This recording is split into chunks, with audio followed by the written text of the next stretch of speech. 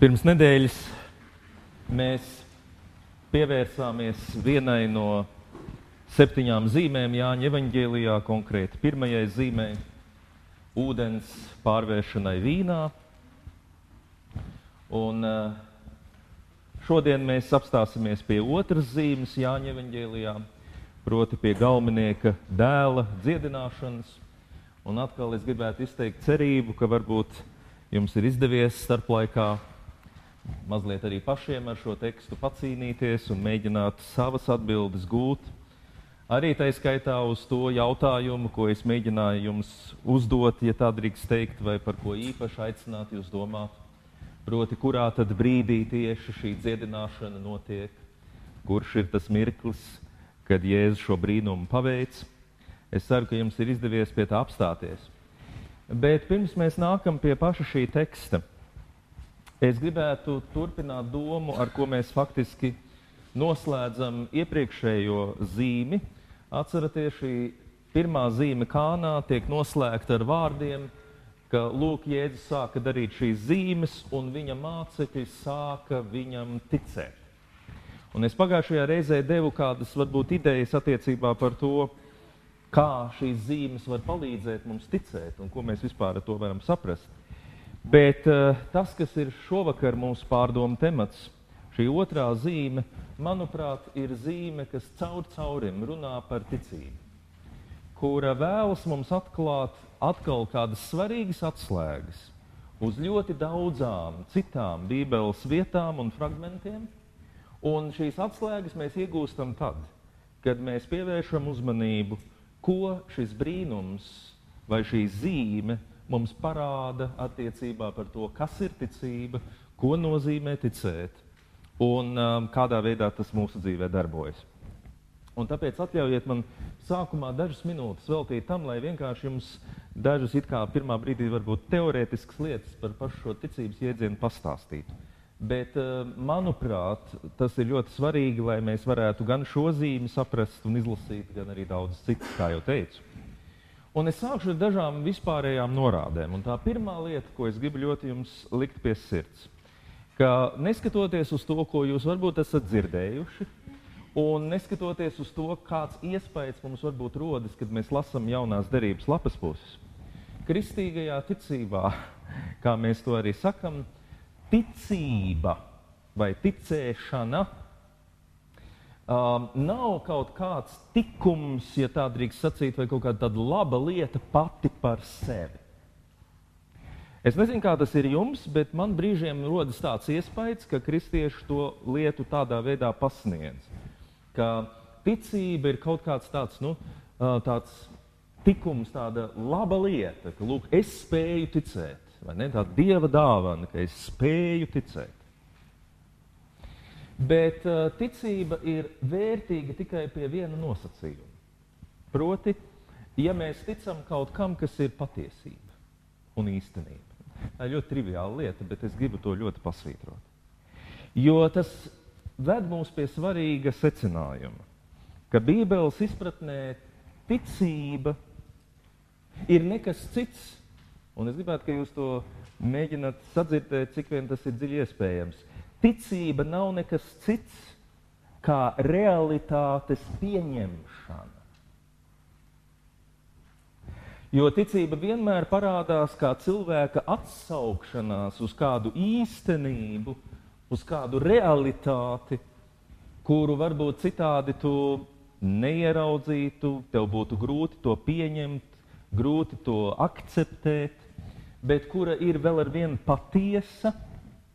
Un tāpēc tajā brīdī, kad tu pieņem to, kas ir, un tā kā tas ir, tu vairs neļaujies kādām fantāzijām, neesi viens muļķīgs vai spītīgs cilvēks, kurš vienkārši turies pie kaut kādām savām izdomātām lietām, bet tu esi kļuvis par vienu cilvēku, kas spēj dzīvot pilnvērtīgāk. Ja? Un šeit es gribētu to pretstatīt mūsdienās izplatītai maldīgai idejai, ka ticība nozīmē tieši realitātes noliekšanu. Tādu spītīgu turēšanos pie kāda sava priekšstata vai, piemēram, savas Bībeles interpretācijas. Un tad mēs sakām, nu, ticēt, tas nozīmē, ka kaut arī visi cilvēki man saka, Indula, tā nav.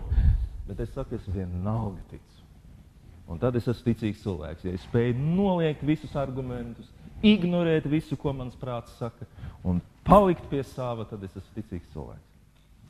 Un šāda izpratne par ticību nāk no tāda dīvaina sajaukuma starp apgaismības laikmeta zināmām idejām un pozitīvās domāšanas sludinātājiem ar tādu mazliet ezotērisku piesitienu, kādu mūsdienās arī diezgan daudz. Un proti, kādā nozīmē? Tas bija apgaismības laikmets, kurš pirmo reizi par ticību sāka runāt kā par nepilnīgu zināšanu stāvokli. Apgaismības cilvēki tā arī teica. Tad, kad mēs zinām lietas, tad mēs zinām. Bet ir situācijas, kur mums nav īsti skaidrs, vai tas ir tā vai tā. Tad mēs sakām, nu, es ticu, ka ir tā. Ja? Tas ir tādā nedrošā, nezinošā situācijā izdarīt izvēli, ka es vienkārši nu, ticu, ka ir tā. Ja jūs gribat, jūs varat pie kanta lasīt, tur ļoti smalki viņš to visu izstrādā. Kā tas ir, ka cilvēkam uh, zināšanas, kā tas ir, ka viņam ir viedoklis un kā tas ir, ka viņam ir ticība. Un ticība ir vienkārši visšvakākais, es atvainojos, ticī, um, zināšanu veids.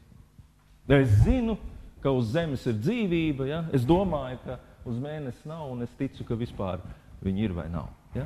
Jo man ir nedrošāka situācija, jo vairāk es ticu. Un klāt pie tā nāk šis, te, kā jau sacīju, mazliet ezotēriskajā vidē pazīstamais koncepts, ka ticība ir spēks, lūk, šis tikums pats par sevi, ar kuru es varu mainīt realitāti. Ja vien es ticēšu, es ļoti, ļoti, ļoti ticēšu, ka kaut kas manā dzīvē notiks, tad tiešām tā arī būs.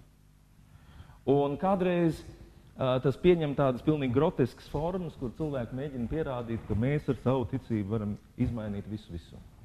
Um, lūk, to saliekot kopā, mēs veidojam tādu īpatnēju priekšstatu, ka nav svarīgi, vai tu tici patiesībai vai nē, tava ticība pati padara patiesu to, kam tu tici. Es atvainojos, ka es jūs te uh, nogurdinu, bet, bet pamēģiniet to saprast, vai ne, ka es domāju, ka es padaru kaut ko patiesu ar to, ka es viņam spītīgi ticu. Ja es ticu, ka Dievs ir radījis pasauli 6,24 stundās, un ja es varu pietiekami spītīgi tam ticēt, tad tā ir patiesība. Bet kristietība nekad tā nav sapratusi ticību. Jo no kristīgā viedokļa tā ir vēlreiz sacīšu atsaukšanās tam, ko Dievs saka, ko Dievs dara. Tā ir rēķināšanās ar viņa klātbūtni. Ticība ir patiesības pieņemšana, atsaukšanās tai. Tev ir jēga ticēt tam, ja ir uzticams tas, kam tu tici. Jo tad tava ticība tev ved tuvāk realitātei. Tu teiktu, es nemūžam nebūtu ticējis, ka ja es tam savam ļaunajam ienaidniekam paspiedīšu roku un viņam piedošu, ka tas mūsu attiecības varētu glābt. Es tam nebūtu ticējis. Bet izrādījās, ka tā ir taisnība. Ja? Te ir ticības moments, ka es kaut kā neredzu realitāti, man liekas, tur nav ceļa, tas nav iespējams. Bet izrādās, tas ceļš ir, un man ir jāuzticas, ka tas ceļš ir, lai pārliecinātos, ka viņš tur ir. Ja? Bet es varu ticēt, ka ir zaļie cilvēciņi uz mēnesi, cik es gribu. Diemžēl viņi tur neradīsies. Nu, tā. Un to ir ļoti svarīgi saprast. Tātad ticēt nozīmē ar paļāvību pieņemt šo realitāti. Un te jau jūs jūtat, kā mēs nākam pie tās tēmas, par kurām mēs esam runājuši arī aizvadītajās nedēļās, daudz un dikti. Kad es stāstīju par to, kā Jēzus mūs aicina mainīt savu domāšanu, Dieva valstība ir šeit un tagad. Tieši tā. Jēzus nerunā par to, kas nav. Viņš mums nepiedāvā citu realitāti, bet viņš mums aicina ieraudzīt šo realitāti maksimāli dziļi un patiesi. Jo tas mums palīdz dzīvot. Un šādā nozīmē ticība mūs glābj, un ticība maina mūsu dzīvi. Nevis realitāti, bet mūsu dzīvi, mūsu jā, nu, jā, nu, savā ziņā realitāte, arī mūsu dzīves realitāte, to, kāda mēs dzīvē esam. Nu, redziet, un tieši šī ticība mums ārkārtīgi pietrūks, draugi. Mums trūkst spēja pieņemt realitāti un dzīvot šajā realitātē. Cilvēki izdomā visu kaut ko, lai tikai viņiem nevajadzētu dzīvot šeit un tagad un pieņemt realitāti tādu, kāda viņa ir. Mēs gribam ļoti aizbēgt no realitātes. Un, um, jā, puse vai lielākā daļa no mūsu koncepcijām un šķietami garīgajām lietām ir faktiski mēģinājumi no šīs realitātes aizbēgt. Kā šādu ticību iegūt, kā pie tās nonākt? Par to, manuprāt, runā šī otrā zīme, tātad no Jāņa Evanģēlīja 4. nodaļas. Bet, ja jūs vēl atceraties, es jums devu kā paralēlo tekstu fragment no Mateja Evanģēlīja 8. nodaļas, kur uh, ir notikums, kas ir, manuprāt, ne tikai paralēls, bet kaut kādā ziņā vēl skaidrāk izceļ to, par ko tad īstenībā ir stāsts. Un atkal es gribētu jums apsolīt, ja mēs varēsim nonākt pie skaidrības par to, kas notiek šeit ar galvenieka dēlu Jāņa Evanģēlijā vai šo romiešu centuriona kalpu, kurš guļ slims mājās, Mateja Evanģēlijā. Ja jūs to izjutīsiet līdz kaulam, jums atvērsies vaļā gandrīz visi Jēzus dziedināšanas stāsti. Un nākamā zīme, par ko mēs runāsim nākamā nedēļa, Dieva žēlstība, tā mūs tikai vēl nostiprinās un palīdzēs mums to, kā jau teicu, aizvien skaidrāk ieraudzīt. Jo redziet, ja mēs, es nolasīšu šo Mateja tekstu, ja nu visiem vēl nav uh, līdzi, un uh, jūs esat varbūt piemirsuši to. Es nolasīšu šo tekstu, un es gribētu, ka jūs ļoti pievēršat uzmanību jautājumam par to, kas ir ticība un kā viņa realizējas. Kad Jēzus iegāja Kapernaumā, pie viņa pienāca kāds centurions, nu, tā tad romiešu virsnieks, mēs varētu teikt, pār simtnieku, ja? pār simts karavīriem, uh, un lūdza, mans kalps guļ mājās paralizēts un briesmīgi cieš. Jēzus tam sacīja, es iešu un viņu dziedināšu. Bet centurions atbildēja, kungs, es neesmu tā cienīgs, ka tu nāc manā namā. Uh, tas bija saistīts ar to, ka viņš ļoti labi saprata un zināja, ka mm, jūdu izpratnē romieši un Romas, var pārst, Romas varas pārstāvji ir tādi bezdievi un tādi sevi cienoši jūdu rabīni viņu mājās neusturējās, norobežojoties no šī pagānisma. Un viņš saka, nu, nepūlies, es tev nelieku nākt pie manis. Un tad viņš saka šos zīmīgos vārdus. Dod tikai pavēli, un mans kalps būs dziedināts. Jo arī es esmu cilvēks, kas ir pakļauts varai, un man ir padotie kareivi. Un, ja es vienam saku, ej, tad tas iet, un citam nāc, tad viņš nāk. Un saku savam kalpam, dari to, tad viņš dara. To dzirdēdams, Jēzus izbrīnījās un sacīja tiem, kas viņam sakoja, patiesi es jums saku, ne pie viena Izrēlā es tādu ticību neesmu atradis. Un es jums saku, daudzi nāks no austrumiem un rietumiem un sēdēs ar Abrahāmu, Īzaku un Jēkabu debesu valstībā. Bet valstības dēli būs izgrūsti ārā tumsā, tur būs vaimanas un zobu griešana.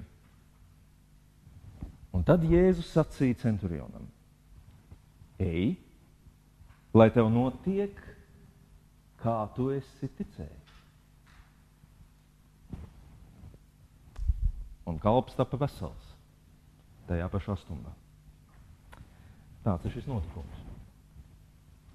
Un, ja jūs viņu rūpīgi lasījāt un pārdomājāt, jūs varat ieraudzīt, ka šis romiešu centurions demonstrē patiešām iespaidīgu paļāvību, vismaz pirmajā brīdī, vai ne, uz dieva varu, uz to, ka viss šajā pasaulē notiek saskaņā ar dieva lēmumiem, un viņš izmanto sev pazīstamo Romas leģionu, strikto armijas kārtību, lai ilustrētu ka viņš tic un zina, ka viss šajā pasaulē ir pakļauts zināmai kārtībai un hierarhijai, un Dievs ir šīs pasaules radītājs, un viņam ir visa vara debesīs un virs zemes, un tas nozīmē, ka tas, ko viņš saka, tas, nopie, tas vienmēr piepildās, un ja viņš teiktu tikai vienu vārdu, tad viņa kalps būtu vesels.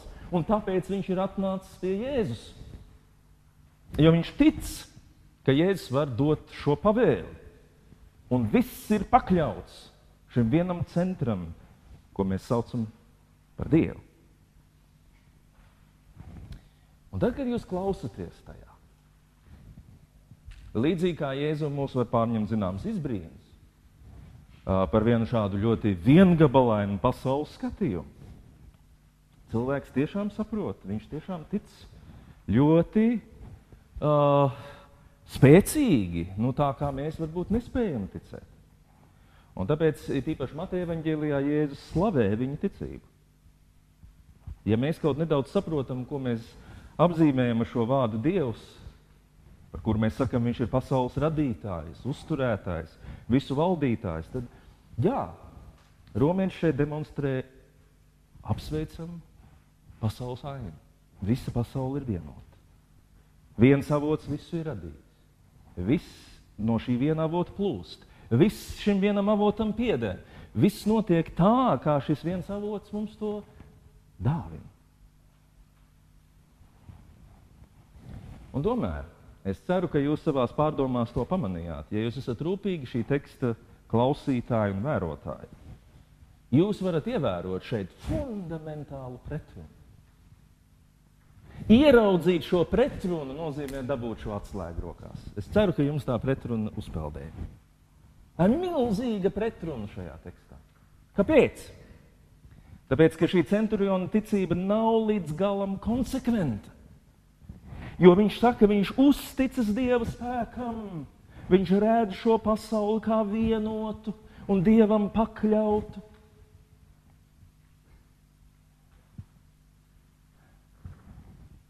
Un tomēr tieši izšķirīgajā brīdī un izšķirīgajā jautājumā viņam taču nav, ja jūs tā padomājat, paļāvības uz to, ka tas tā ir.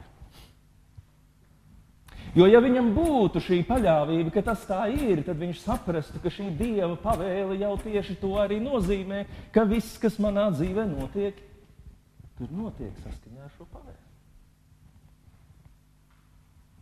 Un tā ir šī fundamentālā pretruna, ko mēs nemitīgi sevi nesam. Mēs sakām, mēs ticam, ka Dievs var visu, ka Viņš visu valda. Un tāpēc lūdzu Dievs tagad apgriez otrādi visu. Jo tu taču vari visu, un tu visu valdi.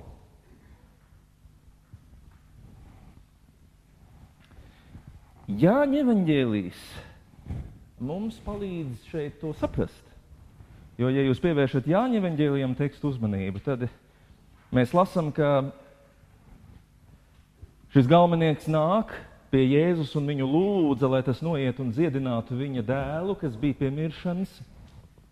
Bet Jēzus viņam sacīja, ja jūs zīmes un brīnumus neredzat, jūs neticat. Tā tad interesanti. Jāņa evanģēlijā tas izskan tā kā maķinīt pārmetums. Un tas, ko Jēzus viņam pasaka, viņš saka tā, tu man saki, ka tu tici, ka Dievs ir visu radījis. Dievs ir visu valdītājs, ka viss ir tā kā Romas armijā. Tu man tā saki. Un vienlaikus tu meklē zīmes un brīnumus. Kā tā? Jo, redziet, eh, jaunās derības evaņģēlijos mēs ļoti bieži atrodam pieminētu tādu interesantu jēdzienu kā masticība. Šad un tad Jēzus pārmet saviem mācekļiem, ka jūs masticīgie, kur ir jūsu ticība. Un es nezinu, vai jūs to zinat vai nē, mēs kādos sprediķos un uzrunās šeit draudzē, arī mani kolēģi to esam pieminējuši, ka šī mazticība eh, ļoti interesants grieķu valodas vārds, eh, jo oligopistis nozīmē Um, oligo, no kā ir cēlies vārds oligarhi. Ja? Oligo nozīmē daži. Oligarhi ir tie daži, kas valda pār citu dzīvēm. Un tāpēc mēs varētu sacīt arī nevis mazticība, tādā kvalitatīvā vai ne trūkuma nozīmē, bet dažticība vai retticība. Nu, tādā nozīmē, ka brīžiem tu tici un brīžiem nē. Dažās jomās tu tici, un dažās jomās nē. Tava ticība nepārklāja, un tagad esat uzmanīgi, visu realitāti. Viņa pārklāja atsevišķus realitātes elementus. Runa nav par ticības lielumu, tad, kad jūs sastopaties ar jēdzienu masticību, bet runa ir tieši par šo attieksmes maiņu. Ka tu tici nevis tad, kad tev jautā lielas, skaistas frāzes, un tu viņus atkārto, bet tu tici savā ikdienā. Tu tici nemitīgi. Viscaur tu redzi Dieva valstību šeit un tagad. Un šī mazticība vai oligopistis nozīmē, šī dažticība nozīmē, ka dažreiz, retās reizēs, lūk, tur, kur mēs meklējam brīnumus, kur mēs faktiski gribam šo realitāti atkal izmainīt, kā mēs runājām iepriekšējās lekcijās, tur mēs esam ticīgi. Tur mēs sakam, mmm, kā es ticu, ka Dievs visu var izmainīt, ka Viņš visu kontrolē. Bet kāpēc? Tu to pieņem tikai tad, kad tu meklē zīmes un brīnumus. Kad tu gribi izmainīt šo realitāti. Kāpēc tu pārējā laikā domā? Vai tu domā, ka tava dzīve ir ārpus šī lielā ietvara, kuram tu saki, ka tu tici? Redziet, mana versija ir par to, ka Jēzus centurionam iedod šo trūkstošo ticības elementu vai gabaliņu, ja tā drīkst teikt, kas padara viņa pasaules uztveri konsekventu. Un tāpēc es jums jautāju, kur tad Jēzus deva to citu pavēli? Parādiet man to vietu. Jāņem evanģēlijā viņš saka, ej, tavs dēls ir dzīvs. Vai tad viņš bija miris? Nē, viņš bija dzīvs. Jēzus vienkārši pasakā, tavs dēls ir dzīvs. Un Mateja evanģēlijā viņš saka, ej, lai tev notiek, kā tu esi ticējis. Tu man saki, ka tu tici, ka viss notiek tā, kā Dievs to ir pavēlējis. Bet tā arī notiek. Un jūs teiksiet, šausmas. Kā tā? Bet redziet, tā ir interesanta lieta, ko es gribētu pievērst jūsu uzmanību. Ja viss reiz ir pakļauts dieva gribai un pavēlēm, nu šeit es saprotat man pareizi. Es nerunāju par fatālismu, es nerunāju par to, ka mums tagad nav brīvās gribas un tam līdzīgas dīvainas lietas. Es šeit runāju par to, kā tu tver realitāti. Vai tu viņai uzticies kopumā vai nē, vai tikai diem, dažiem viņas fragmentiem.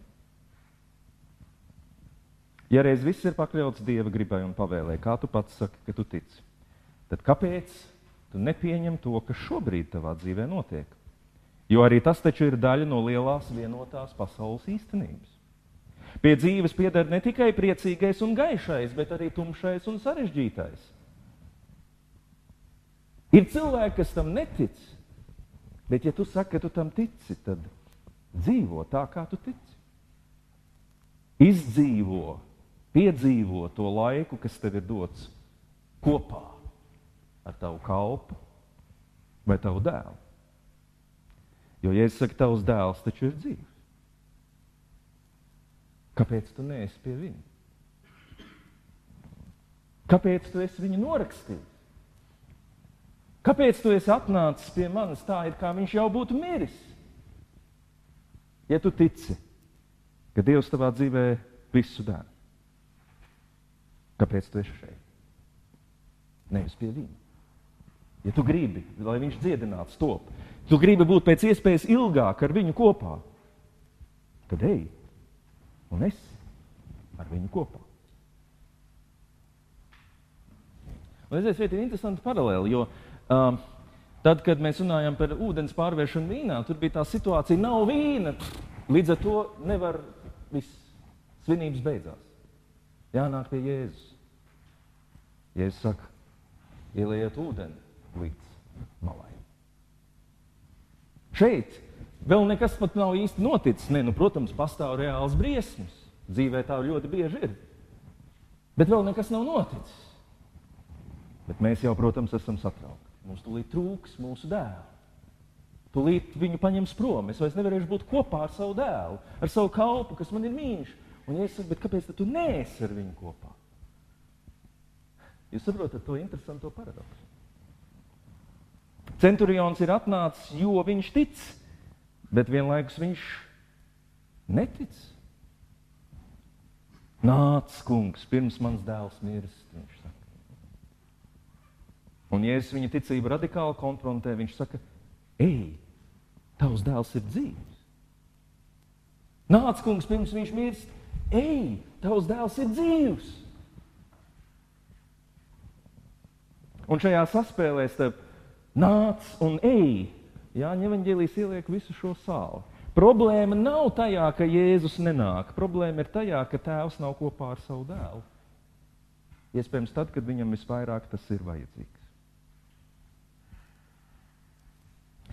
Un tā ļoti bieži tas notiek, draugi, ka mūsu ticība, kurai vajadzētu mūs novest pilnīgā kontaktā ar realitāti, mūsu paļāvībai šo realitāti vajadzētu mūs mācīt to pieņemt. Mūsu ticība bieži kļūst par smalku veidu, kā aizbēgt no šīs realitātes. Un nepārprotiet mani, mēs cilvēcīgi varam šo tēvu perfekti saprast. Un šis tās nav aicinājums neko nedarīt savu tuvāko labā, nemeklēt palīdzību un tā tālāk. Mēs varam atcerēties citus evaņģēlijas stāstus, kuri tiek runāts tieši par to, kā cilvēki nāk paši un nes citus uz nestuvēm, lai tikai Jēzus pieskartos un iedrošinātu un dziedinātu. Bet es gribu vērst jūsu uzmanību. Lai cik iespaidīgi būtu brīnumi, par kuriem mēs esam dzirdējuši. Un lai cik iespaidīgi būtu brīnumi, uz kuriem mēs slepenībā gaidām. Mēs nedrīkstam aizmirst vienu lietu. Ka ticība Dieva valstības tuvumam nozīmē, ka tieši mēs spējam palikt mūsu grūtā dzīves brīdī, tur, kur mēs esam, un izdzīvot katru šo mirkli paliekot nomodā, paliekot klāt pie tā, kas ar mums notiek.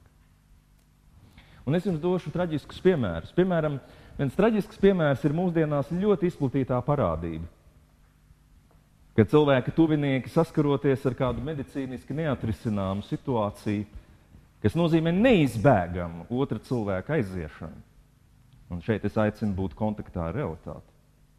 Tā vietā, lai mēs izmantotu šo laiku un cilvēcīgi būtu kopā ar šo cilvēku viņa svarīgākajā un iespējams grūtākajā dzīves brīdī, mēs tik ļoti labprāt, lai mums nevajadzētu būt ar viņu kopā. Esam gatavi skriet apkārt līdz otrai pasaules malai, mēģināt kaut ko glābt, kaut, kā, kaut ko izdarīt. Labi zinot, ka kādreiz cīņa ir bezjēdzīga. Bet šī cīņa ne, par dzīvību, ne par ko citu. Par vēl dažām stundām, kur mēs pamocīsim šo cilvēku un uzturēsim mākslīgi viņu šeit. Pieminot manus vārdus, dažkārt ir rafinēts veids, kā mums pašiem izvairīties un attālināt to, ka mēs saskaramies ar šo nepatīkamo mirkli. Būt kopā ar šo cilvēku, zinot, ka kādreiz mēs nevaram izmainīt lielos realitātes mērogus un lielās robežas. Draugi, mēs šeit runājam par galvenieku dēlu. Bet iedomājieties, ka šī dēla vietā būtu kāds cilvēks ļoti sirmā vecumā. Ļoti sirmā vecumā, kurš ir saslims,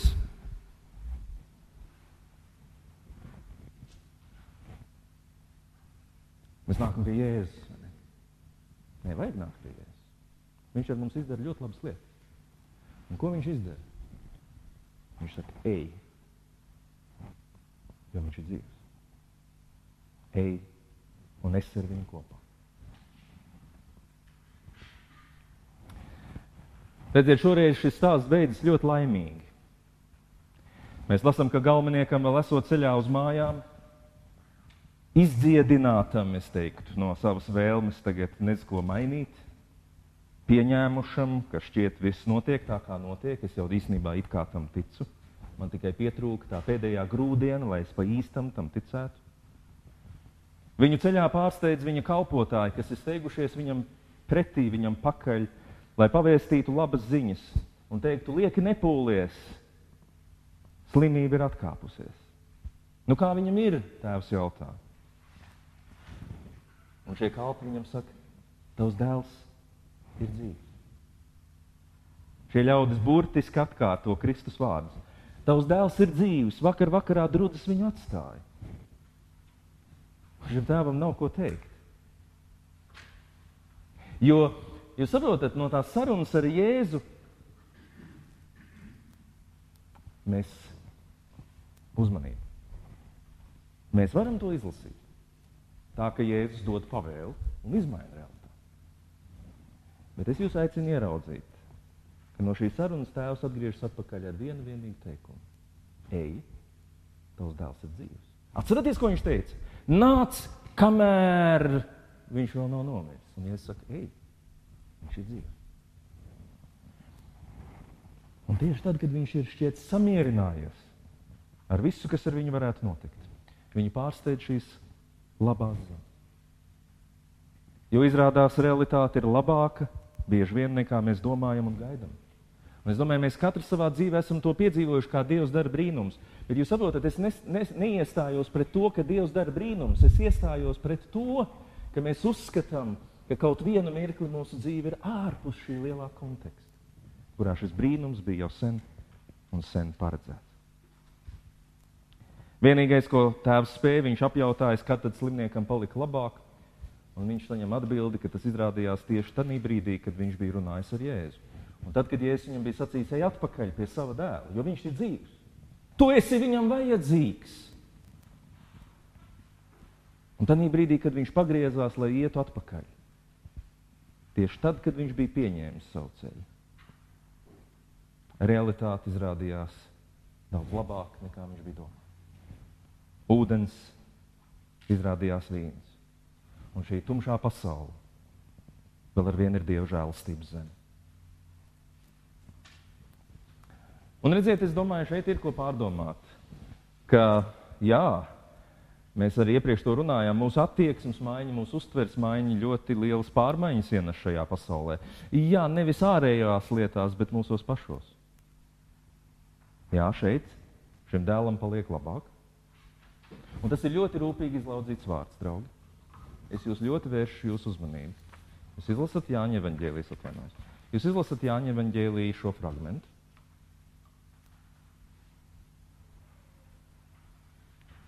Viņš tiem jautāja, kurā brīdī dēlam kļūs labāk. labāk. Drūdzes viņu atstāja.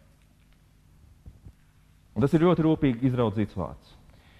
Jo es vēršu jūsu uzmanību, draugi. Un šī lieta atkal jūs mazliet pirmā brīdī nobiedēs un satrieks. Bet lūdzu, mazliet pakavējieties pie tā, un jūs atradīsiet tajā vienu no vislielākajiem spēka avotiem savā dzīvēm. Dziedināšana nav nāves atcelšana. Tā nav pasaules kārtības izjaukšana. Dziedināšana vienmēr, visās dziedināšanas izpausmēs, nozīmē vienu lietu. Mums tiek dots laiks. Vēl mazliet laiks, lai mēs varētu būt kopā ar otru cilvēku. Un tas ir tas, ko Jēzus šim centurionam māca. Laiks tev ir dots. Izmanto to. Un tāpēc Jēzus dara pilnīgi pareizi, kad viņš viņam saka, izmanto šo laiku. Jo tieši tad, kad tu būsi kopā ar savu dēlu, tu varēsi šo laiku piepildīt. Un atkal, ja ne, šī Jēzus klātbūtne, šī viņa nedalītā paļāvība uz, uz Dievu klātbūtni ir tā, kas arī mūs iedrošina izmantot šo laiku un dzīvot. Un tad atļaujiet man pajautāt, kas notika ar šo kalpu vai galvenieka dēlu pēc šīs slimības remisijas. Mēs to nezinām. Nē, vēl vairāk es jums teikšu, mēs ļoti labi to zinām. Tāpēc, ka mēs zinām, kāds ir cilvēka dzīves kopējais ceļš. Mēs zinām to. Mēs zinām pieturas punktus. Mēs tikai nezinām, cik daudz laika viņiem ir dots.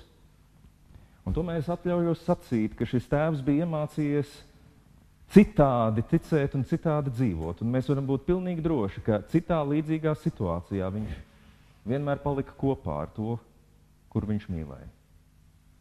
Ja viņš bija sapratis galveno ka dzīves saturs ir mūsu attiecības un tuvība. Tā dēļ mēs dzīvojam. Šīs tuvības dēļ mēs meklējam brīnumus. Bet nav nepieciešami brīnumi, lai mēs būtu tuvu otram. Bet dažkārt otrādi gan mēdz būt, ka ir vajadzīga tuvība, lai notiktu brīnums. Un šeit man gribētos pievilkt tādu ļoti ar mūsu draugu saistītu lietu. Viena no mūsu kalpošanas nozarēm ir vecāku māja bērnu slimnīcā.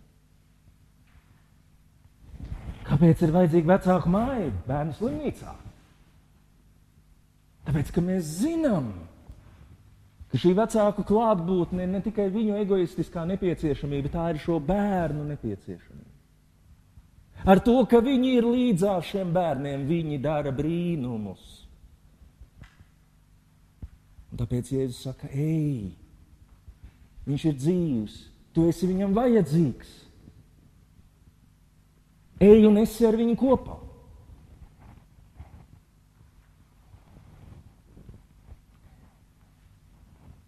Jo šis tuvums, otra cilvēka klātbūtne, spēja būt ar mums kopā arī tad, kad mums ir grūti, ir tas, kas mūs stiprina. Un tas, kas padara iespējamu to, kas citādi nebūtu iespējams. Un tāpēc noslēgumā dažas piezīmes. Pirmā lieta. Domājot par visām dažādajām dziedināšanām, kas jaunajā derībā ir aprakstītas, es gribētu jums pasvītrot vienu lietu, ka Jēzus galvenokārt dziedina cilvēku dzīves. Nevis tikai ķermeni, nevis tikai kaut kādas atsevišķas, atkal mazus fragmentus viņa dzīvē. Viņš dziedina cilvēka dzīvību. Un to jūs redzēsiet pie visām nākamajām zīmēm. Nākamā zīme ir vienkārši ekscelenta šajā ziņā. Es jums jau iedevu visas, visas pieejas kodus um, šim noslēpumam par kādu cilvēku, kurš 38 gadus gaida uz brīnumu. Kamēr viņš viņu sagaida.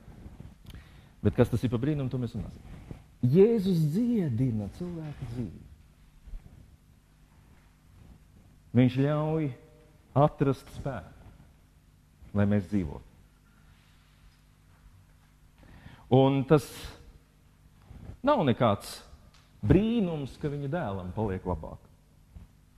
Bet brīnums ir, ka šeit ir viens tēvs, kurš ir sapratis galveno. Ka viņš ir vajadzīgs savam dēlam. Un viņam ir jābūt ar viņu kopā. Un tāpēc uh, pārnesot to visu uz mūsu meditācijas ceļu, es gribētu sacīt, ko nozīmē meditēt, draugi. Ko nozīmē tas mirklis, kad mēs apsēžamies šajā klusajā lūkšanā un mēs sakām, mums nav nepieciešams tagad kaut ko darīt. Mums ir nepieciešams būt šeit un tagad. Redziet, meditēt nozīmē konsekventi ticēt. Konsekventi ticēt. Tā ir vingrināšanās ticēt, ka arī šeit un tagad, un bez īpašas manas rosīšanās, Dievs ir klātesošs. Nevis es cenšos kaut kādu dziļāku un daudzāk ticēt,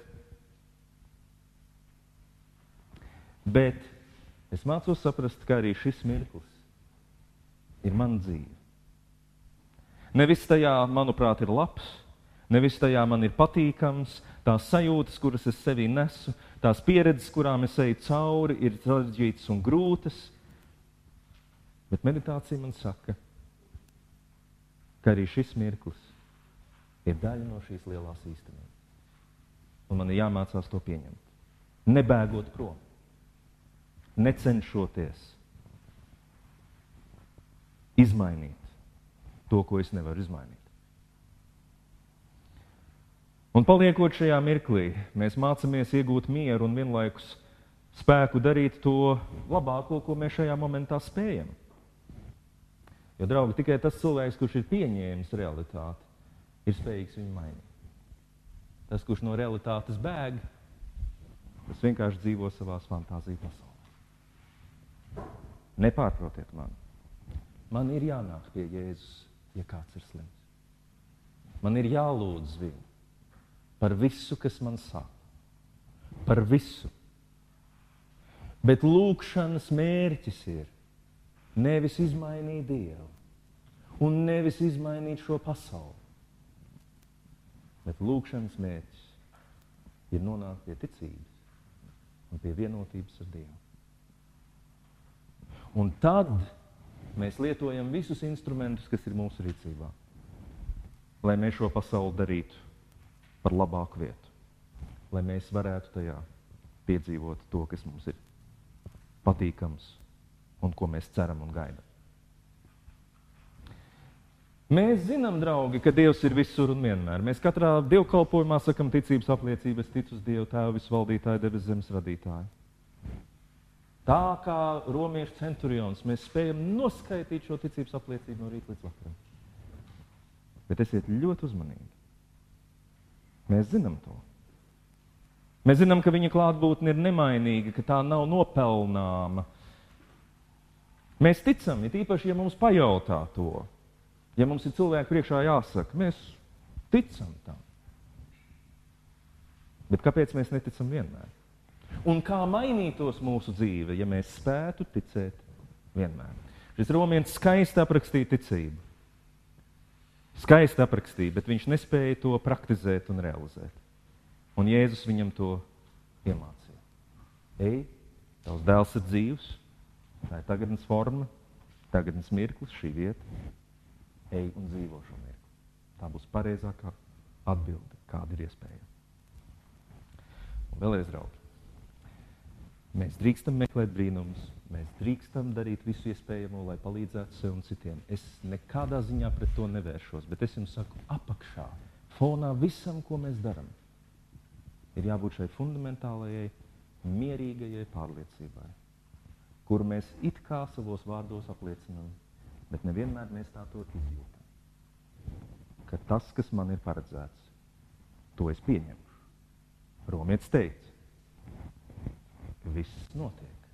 Ja es kalpam saku nāc, viņš nāk. Un ja es viņam saku ej, tad viņš iet.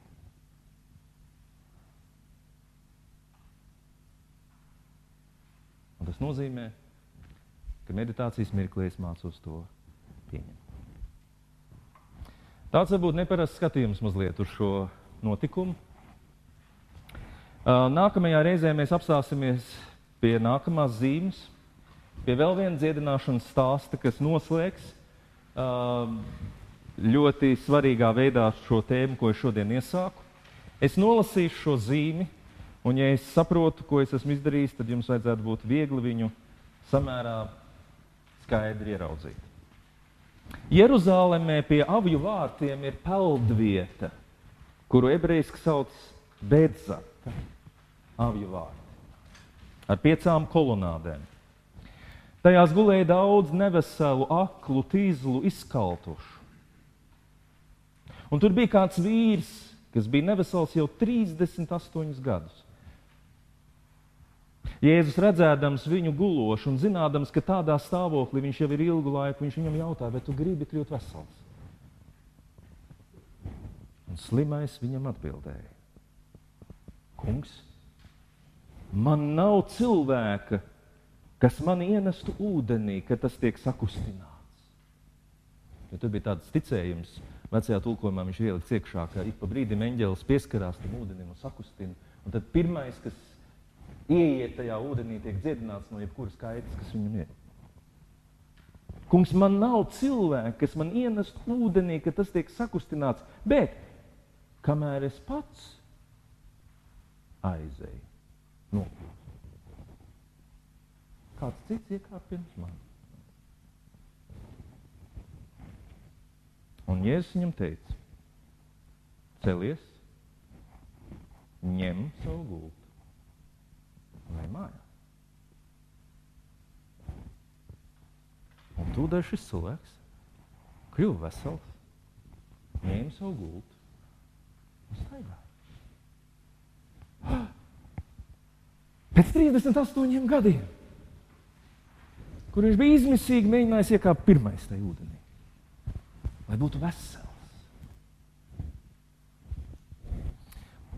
Un, eh, tāpēc mans jautājums, kāda tieši šis slimais ieguva spēju doties mājā? Varat mēģināt šo koānu atminēt. Un atbilstošais es esmu vārds ir, kad Kristus saka, es esmu durvis, kas caur mani izies un ieies, tas tiks izglābts un atradīs zāļainas. Mīļie draugi, es vēlējos pasītoši, es ticu brīnumiem. nopietni, nopietni. Es ticu brīnumiem. Bet es ticu, ka tie ir brīnumi, kurus Dievs mūsu dzīvē ir devis un paredzējis. Un viņi mūsu dzīvē notiek. Bet kādi jautājumi var būt? Kāds varbūt ir satriekts un iznīcināts? Jēzum bija jādziedina šī cilvēka ticība, lai viņš uzdrošinātos atgriezties savās mājās. Tur, kur viņš ir un dzīvot. Un vēlreiz es jums pasvītrošu to, ko Skots Peks savā grāmatā Ceļš, kur izvēlēties, tik absolūti brīnišķīgi parāda. Viņš saka, pasaule, zinu, pirmais teikums, ja es vienmēr reklamēju. Kāpēc šī grāmata ir laba? Man uzrunā pirmais teikums - dzīve ir grūta. Punkts. Un šis cilvēks, kurš saka, dzīve ir grūta, punkts. Savas grāmatas noslēgumā saka, bet ziniet, kopumā Šajā pasaulē žēlastības ir vairāk nekā ciešana un tums. Un ticēt nozīmē pieņemt realitāti. Ar tumsu, ar grūtībām, bet vienlaikus piedzīvojot, ka žēlastība tur ir. Un Dievs saka savu pavēli. Viņš vienmēr viņu saka īstajā laikā. Labi, mēs mācīsimies uz to paļauties mazliet.